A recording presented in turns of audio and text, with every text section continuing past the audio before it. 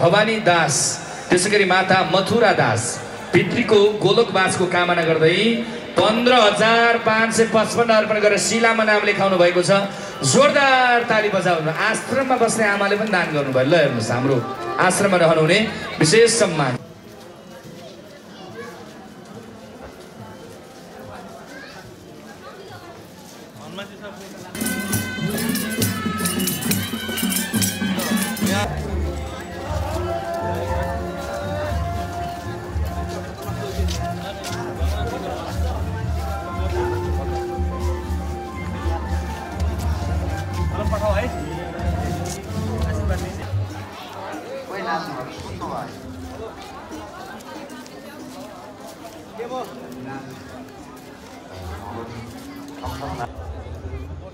हनुमानजीले त गुलेल नै हनुमानको चेलाहरूलाई होला नि।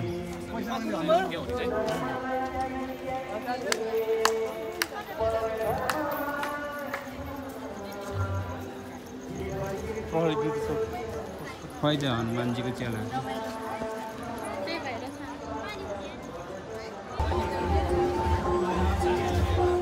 मुटुको माथि होला नि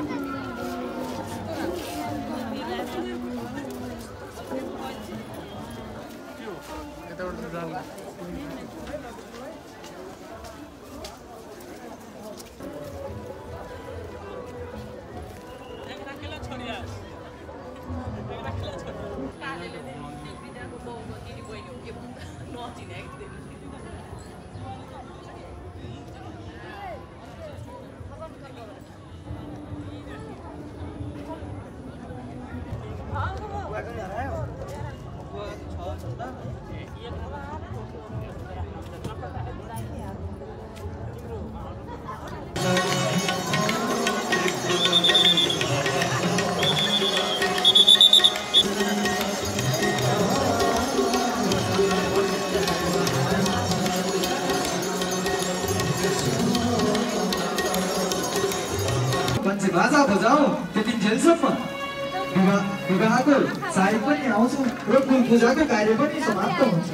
के के भन्नुहुन्छ? अवश्य अवश्य अब यस्तै हो साहब। नृत्य भनेको अघि आउँदा बरु यसो केही मिष्टान्न परिकार भोजन पाइन्छ भने यसो मेरो जन्ती छुट्टिँदै छुट्टिँदैन माला।